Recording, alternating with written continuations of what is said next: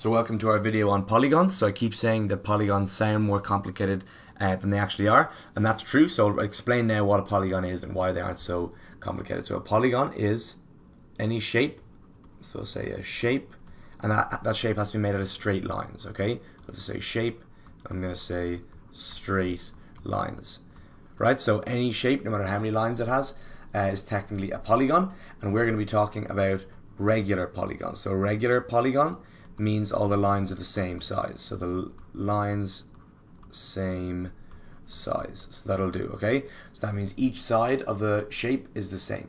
So we already know loads of polygons, we just don't know that we know them. Okay, that sounds more complicated than it is. But for example, a triangle is a three-sided polygon because it's all if they're all the same size. Then, for example, if we want to say the square here, that's going to be a four-sided polygon. This pentagon here, so pentagon is five sides. Again, this isn't a perfect drawing, but it's just so you can uh, get the idea. Five sides, uh, five-sided pentagon or five-sided polygon is a pentagon. Then a hexagon. So we're gonna have that's a hexagon that has six sides. A heptagon is a little bit harder to draw. So there's the heptagon and the octagon. They're a little bit hard to draw, so I just scribbled them out there. Um, yeah, so they're all polygons. They all have the same uh, each side is the same length, so they're regular polygons. And this is what we're going to talk about. So what do we need to know about regular polygons? We know how to solve. We want to know how to solve things with them. Okay, so I'll just say um, solve, and generally this is going to mean finding the angles. So if we find angles, it'll help us find loads of other things. So I'm going to say finding the angles, and the method we're going to do to uh, to solve these is we're going to break them up. So I'm going to say break up into triangles. Okay, so triangles are going to help us um, to do most of these things. Break up into triangles. So we know loads about triangles and the angles of triangles and so on. So the example I'm going to start with is with the pentagon.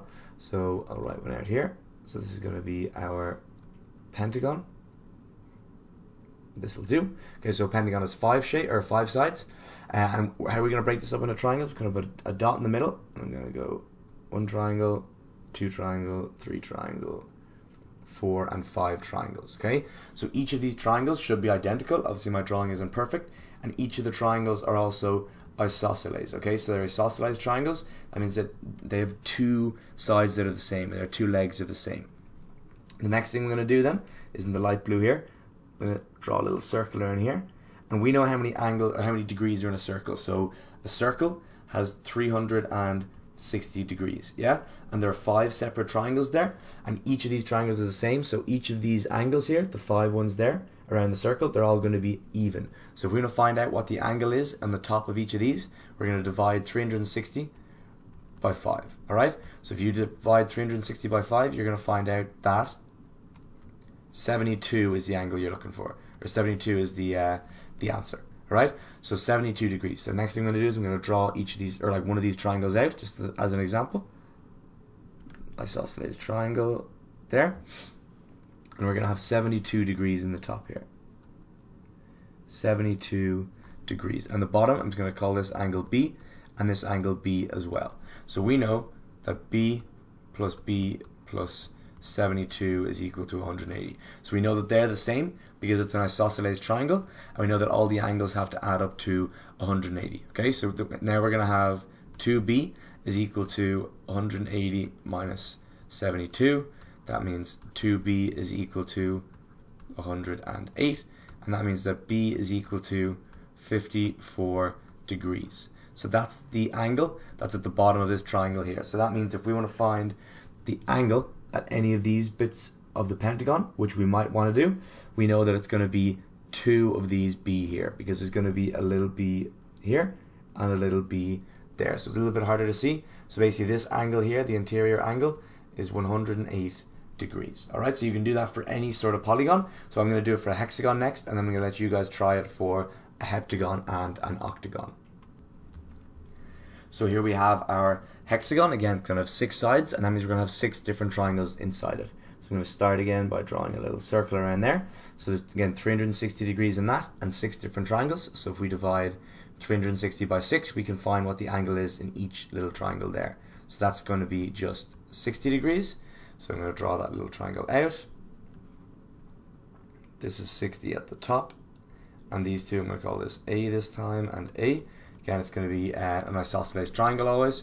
So it's going to be A plus A plus 60 is equal to 180. So all the angles have to um, add up to be 180. So I'll go, I'll go red, why not? So that's going to be 2A is equal to 180 minus 60. 2A is equal to 120. And it turns out that A is equal to 60 degrees. So it's actually an equilateral triangle. Um, these triangles here. Okay, so you get six perfect equilateral triangles. And then again, this interior angle then is going to be 60 plus 60. So it's going to be 120 degrees. All right, so I'm going to leave the video there. That's the really that's the important thing you need to know about polygons. You can break them up into triangles because um, they won't give you that hint in an exam. You're going to need to remember that yourselves. So the last thing I'm going to do is I'm going to leave you guys two problems. You have to try and find so the interior angle. So that's the angle that I got um, for the pentagon and the hexagon. So this angle here for a heptagon, which means one with seven sides. So I'll write that seven sides. That should be an N, and then also an octagon.